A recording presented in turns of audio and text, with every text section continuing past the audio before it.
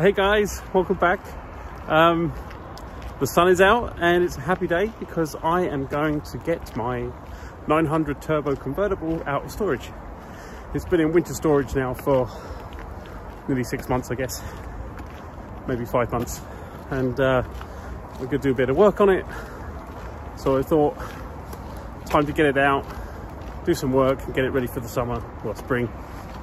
So yeah, uh, got the battery with me. So just heading over there. It's in the countryside. Welcome back to the Classic Saab Guy.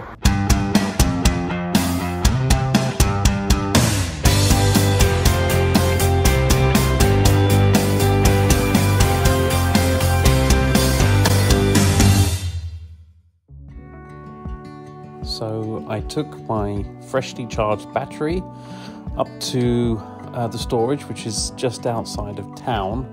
Here is my Saab undercover for around five months now.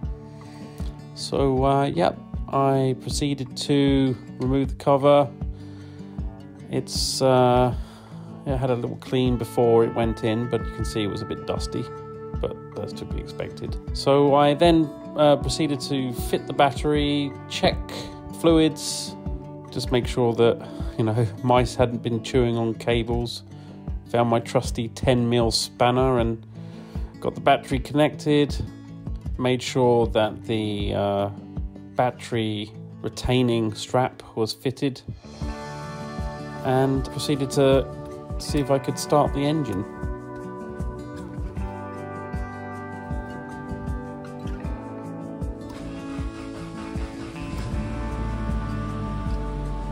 And the car started just as it did if it was being used every day. And the engine uh, did idle a little bit unevenly for the first few seconds, but found its uh, spot uh, with the, you know, the automatic choke setting, and of course we we lost the ABS and the brake fluid level light after a few seconds. Because I store this in a barn in the countryside, of course, I had to drive home through some muddy and icy country roads, so I took it direct for a wash at uh, one of these self wash places, and I typically uh, snapped off the headlight windscreen wiper with the brush. So, gonna need to get that fixed at some point.